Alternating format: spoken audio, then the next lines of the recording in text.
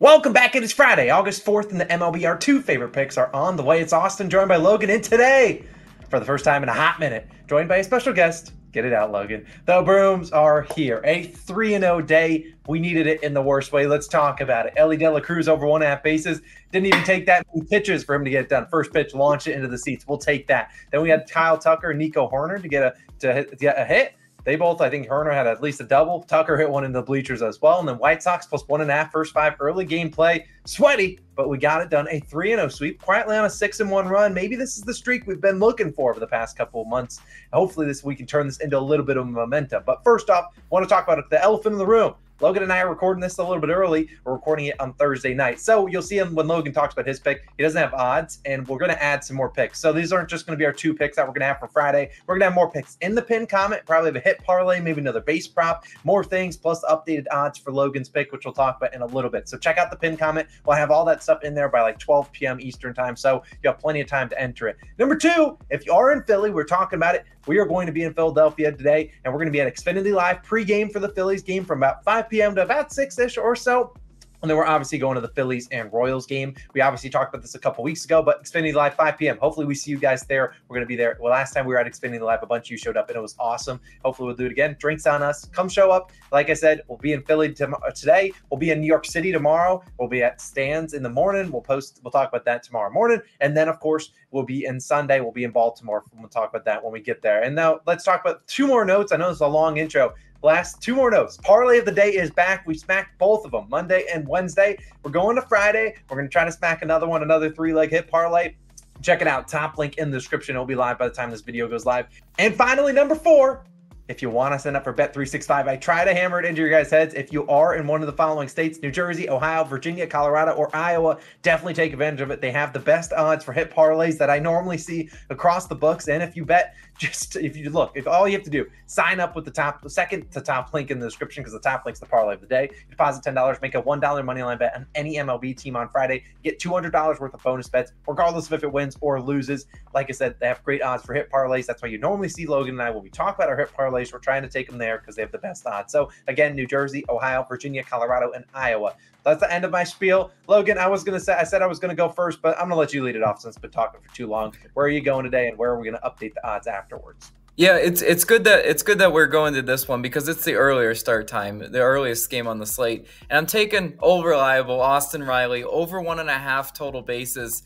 Odds TBD, as Austin mentioned, we are recording this one early. I don't have the odds for it yes, I know it's kind of crazy going with a pick before I know the odds on it, but I can imagine uh, it, I shouldn't. It shouldn't be juiced over to minus one twenty five. Like that's where I would play it up to. If for some reason it is higher than that, then you just got to take a step back. And I'll still probably play it because I love Austin Riley. But a cash here, and Austin Riley will solidify himself as a COS Hall of Famer. Between him hitting, you know, timely hitting, between him and the home runs for us this year, Riley just is, is a great hitter this year. He's absolutely amazing, and he's it has a great matchup today versus Kyle Hendricks at Wrigley Field. In his last 10 games, Riley's hitting 333, which is obviously an amazing batting average in its own right.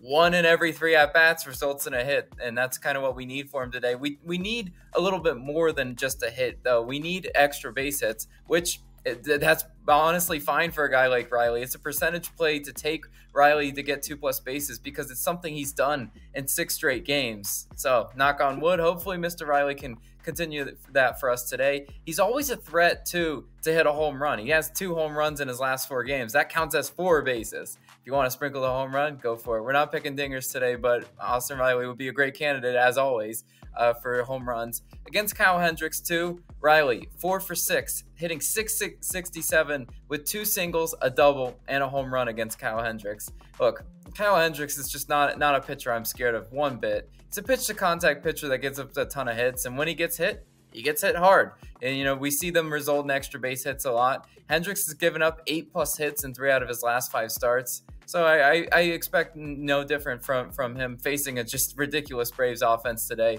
At Wrigley, Hendricks is allowing a 283 opponent's batting average compared to only a 202 opponent's batting average on the road. Good news for us today. He's pitching at home, and he just he, Wrigley has not been all that kind to him this year. And we last point to note, we know Riley will get nine innings of guaranteed at bats as the road team, and he should have opportunities to against that Cubs bullpen. I know they've been improved. but I still think there's there should be op- run opportunities all throughout this this uh, game. Look, the Braves lineup is just you know they're overpowered as, as we've always talked about, and I, I you can't pitch around Austin Riley because you got Matt Olson sitting behind him. So Austin Riley to get two plus bases is going to be you know my my best bet of the day. But Austin, what are you going with today?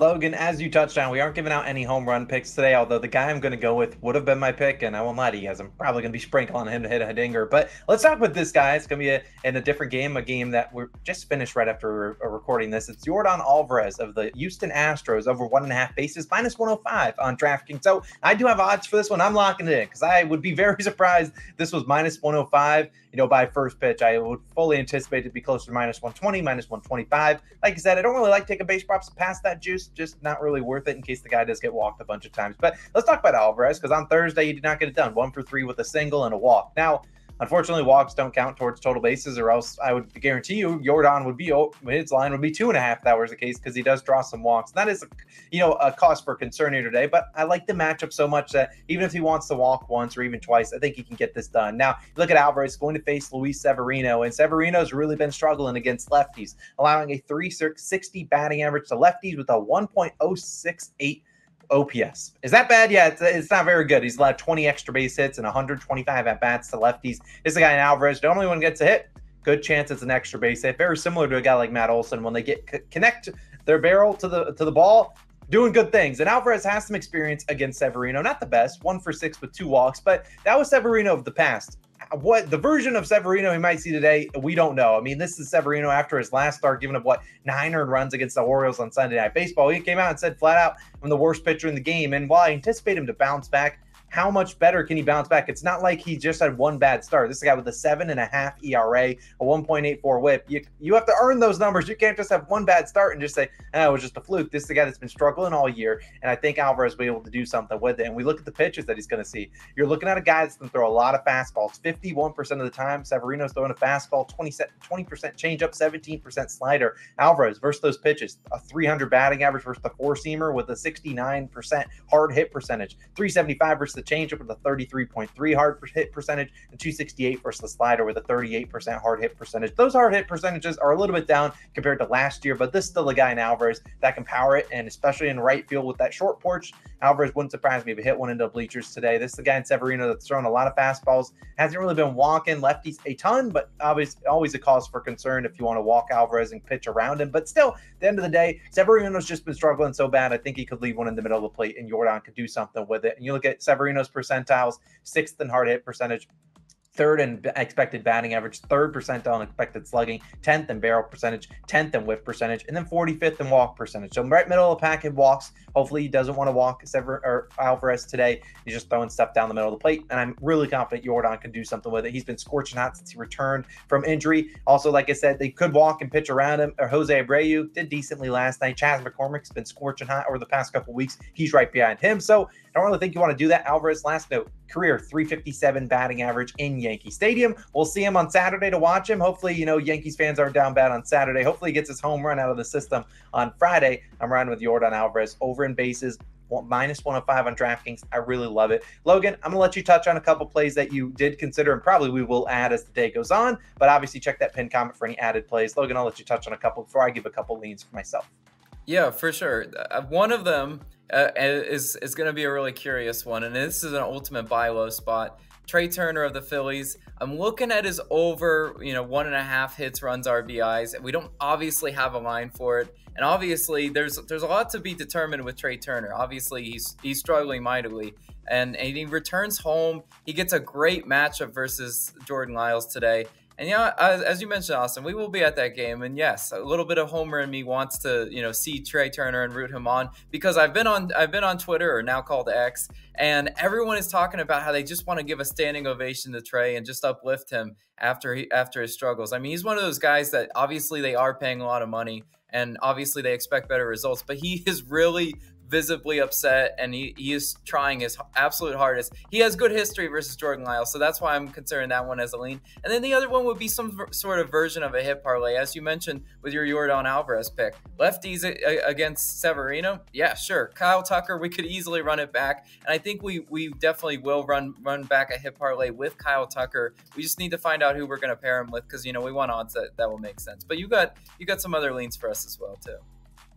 Yeah, I mean, look, we, we could have came out and forced a couple more picks or put these in the video, but everything has to have a price. You know, if they put out Trea Turner at like minus 160, we're not going to take that because we don't take juice props like that. Same thing for some base props, which I'll touch on two right here, plus a game pick. I looked at Freddie Freeman's over in bases. Same thing for Matt McLain. Both I like their matchups. However, I don't know their lines. You know, if they put out a minus 135 base prop, not going to do it just because I won't do it. So I, we're going to wait. Obviously, check that pin comment. Honestly, by the time you're watching this, there's probably a good chance we've already added one play, updated Dawson Riley's odds, maybe even added two or more plays just because the card is, is loaded on Friday. And Logan and I hypothetically think the juice balls come on Friday, which is why there is no NRFI today. We can, we considered the Marlins, but we can't do it. Just juice balls come up. Although Jesus Luzardo, the NRFI goat, is on the mound if you want to take it. So look, Freeman and McLain like them. Maybe they'll be added after the fact. And then a game pick I looked at, which Logan and I really disagree on. I looked at the Red Sox minus a half in the first five, although they are quite square. I won't lie to you. Red Sox first five run line is square. Manoah versus Paxton. And the Blue Jays like to show up on the road in Fenway. So I'm not doing it because Logan really hates it. And he can touch on it in a second. But I I just wanted to fade Manoah, but yeah, every time I think the Red Sox are going to easily get a no sweat win, their bats just don't show up, or their pitcher, you got guys throw. I just can't do it, but I would definitely consider it. But Logan, you can rant about the Red Sox pick that I consider. No, look, uh, just like a couple days ago when you vetoed my NRFI, and I just had to sit here and say, okay, I guess I vetoed that Red Sox pick. I, I won't let you lose coin on that team. The matchup looks good on paper, uh, you know, against Manoah, and Manoah is one of those guys that puts on free base runners. My question for you is, do you trust the Red Sox hitters consistently to get those timely hits?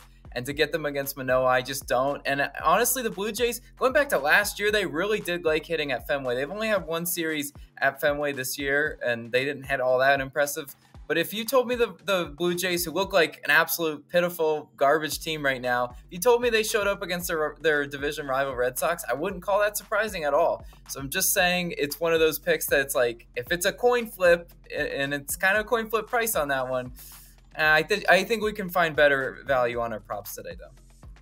Yeah, I totally understand. We've been doing really well on the base props. Going to stick to it. So that's going to wrap it up. Reminder about my couple notes. Number one, added plays. Check the pin comment. We're definitely going to add at least one play. So check that out. Number two, if you are in Philly and you want to come out and meet us, we'll be at the Royals game. I we'll post the, you know, I, will post whatever tickets and sections. I already have posted the section, but I'll post it later. We'll be at Xfinity Live pregame. If you want to come meet us 5 p.m., see you guys there. Parlay of the day linked right under my face. Go check it out. We've hit two in a row. If this one hits, we're giving away all the winnings. Check out how to enter that on uh, Twitter at calling our shot. Number four, Bet365. If you want to sign up, take advantage of all the hit parlay odds that really give out good prices on. So all the details down below in the description. Go check it out. Logan and I, hopefully we see some of you on Friday. Hopefully we have a great day. Hopefully we bring out the brooms again tomorrow, and we'll see you guys back in then. Sorry about the weirdo video with, you know, recording it early, given we're on the road. But we'll see you guys back again tomorrow. Peace.